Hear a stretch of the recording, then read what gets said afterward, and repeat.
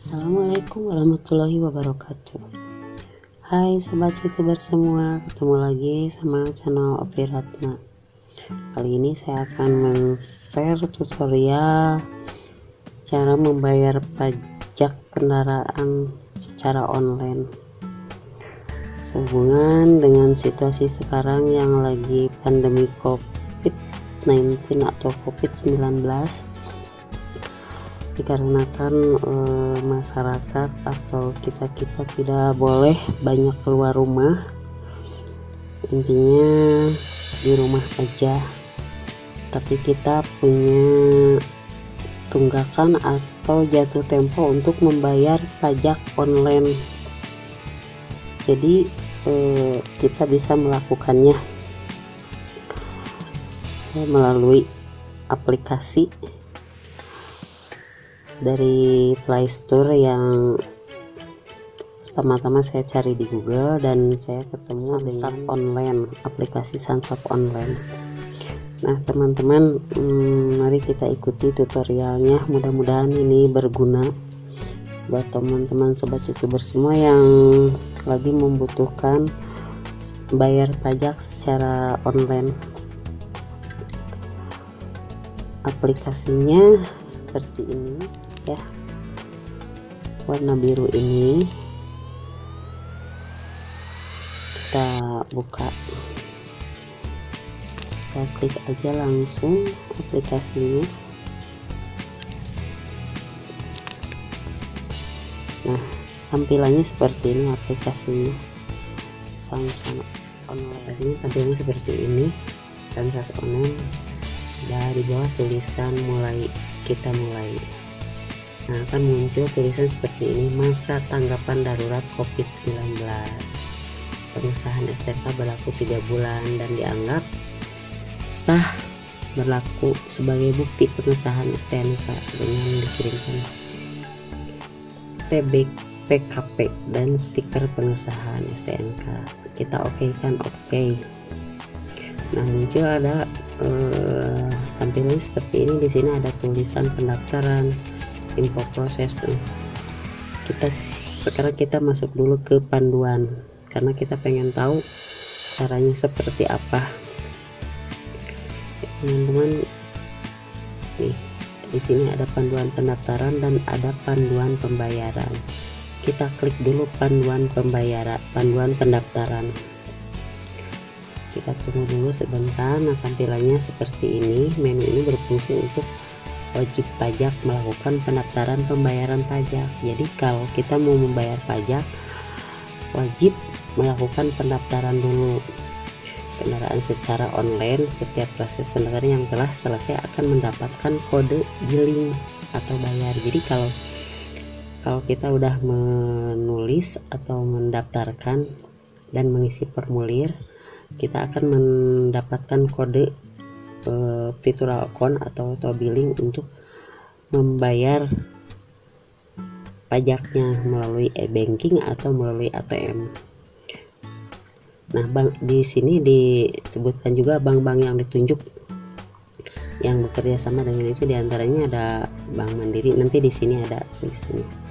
Nah, di sini ada term and condition perhatikan TBPKP dan SPD stiker pengesahan STNK akan dikirim ke alamat yang tertera di STNK ya teman-teman jadi kalau kita sudah beres prosesnya sampai selesai nah bukti eh, TB, PKP, dan SKPD dan stiker pengesahannya akan dikirim ke alamat yang tertera di STNK jadi teman-teman STNK nya harus nama sendiri. Kalau masih nama misalkan kendaraannya beli dari orang lain masih nama yang uh, di STNK nya masih pemilik yang lama kita uh, harus balik oper balik nama dulu. Kebetulan dengan kondisi COVID-19 sekarang ini biaya balik nama itu gratis ya.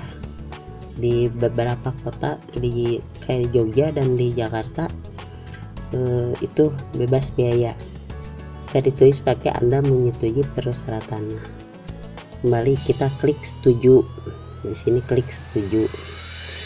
Setelah itu nanti akan keluar tampilan seperti ini.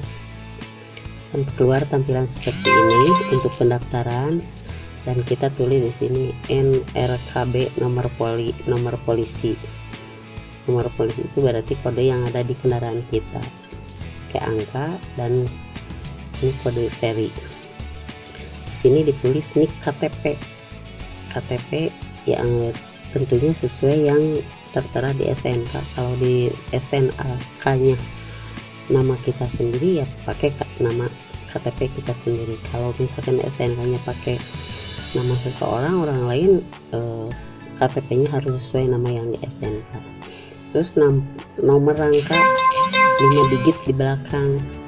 Itu nomor rangka ada tertera di STNA eh, STNK kita lihat di STNK ada nomor rangka kita tulis di sini.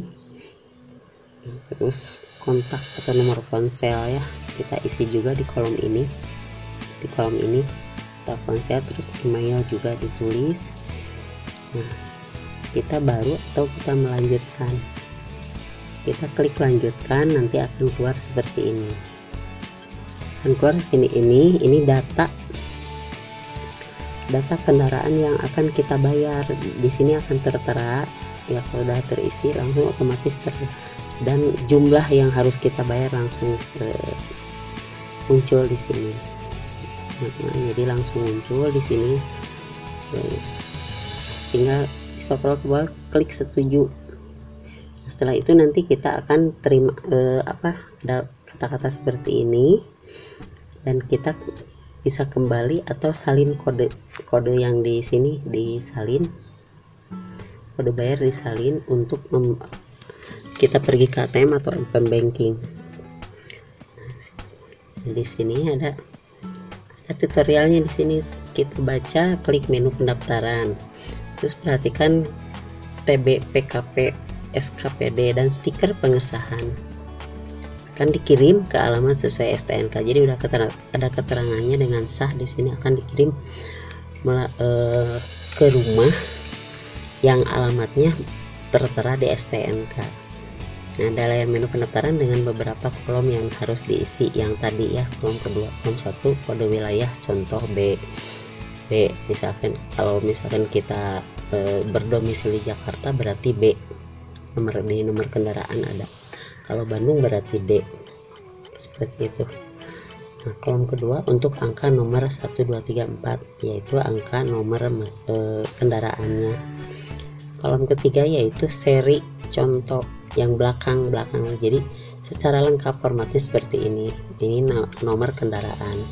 Masukkan nik nomor KTP tadi ini panduan-panduannya dibaca sampai selesai dan sampai dipahami sama teman-teman kalau sudah beres semua nanti akan muncul ini untuk panduan pem, e, pendaftarannya. Kalau udah beres semua diisi nanti akan muncul seperti ini. Akan muncul seperti ini. Kode pengesahan. Nah ini, proses. Jadi kita bisa cek proses nah di sini kok proses ini. Ada ada kalau kita udah beres ini di sini akan tertera data yang tadi kita isi. Berarti kita udah sukses prosesnya. Lagi diproses atau udah sukses? Nah kalau kita mau cuma tak pengen tahu berapa yang harus dibayar kita klik ini. Di sini di sini tulis provinsi berapa. Terus kode wilayah yang tadi di depan nomor kendaraan yang depannya A B atau apa. Terus nomor rangka nomor rangka itu bisa dilihat di STNK juga. Lalu oke okay, nanti muncul. Nah untuk uh, RTKPP ini di sini akan muncul seperti yang tadi ya. Nanti akan tertera di sini.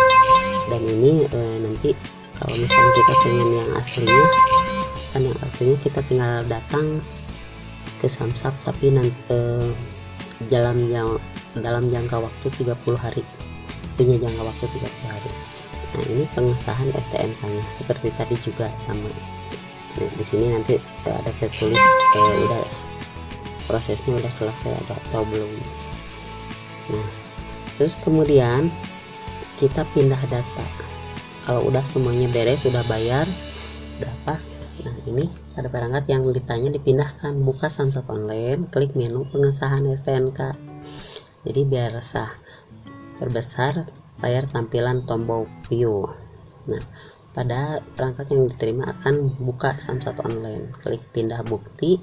Yang tadi saya klik mungkin pindah bukti. Masukkan email yang udah didaftarkan sebelumnya waktu pendaftaran. Pengiriman informasi dan lainnya. Klik tombol mulai pindai. Arahkan pada kode QR tertera.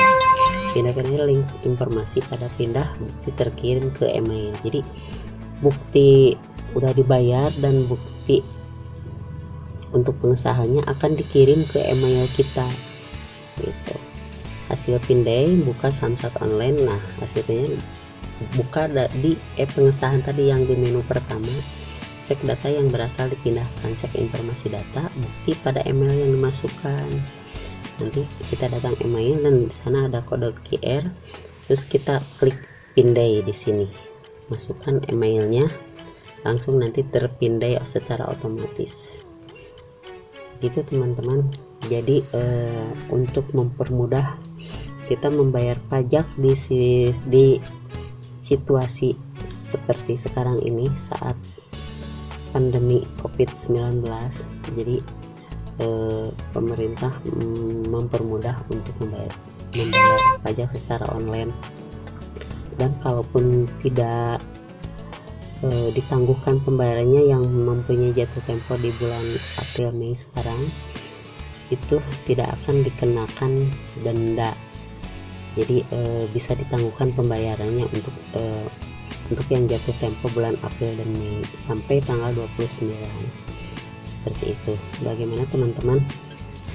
Eh, mohon maaf kalau ada kekurangan yang diterangkan sama saya dan silahkan berkomentar di kolom komentar eh, yang kritik saran atau apa saja yang baik-baik dan sopan silahkan eh, komen di kolom komentar.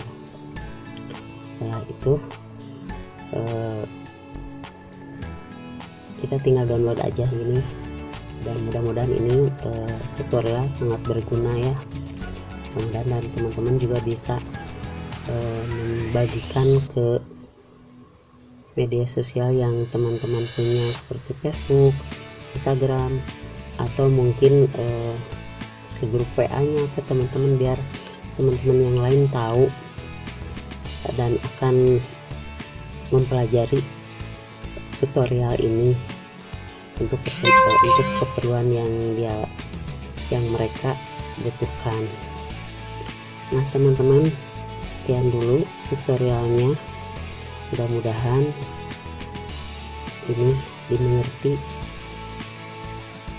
dimengerti dan dipahami dan bisa di praktekkan dan disebarkan ke teman-teman yang lain yang membutuhkan. Sekian, terima kasih tutorial dari saya.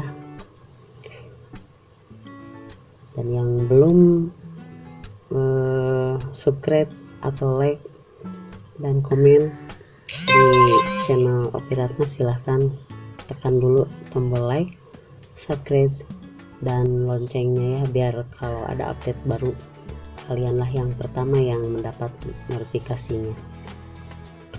Sekian, terima kasih. Assalamualaikum warahmatullahi wabarakatuh. Bye.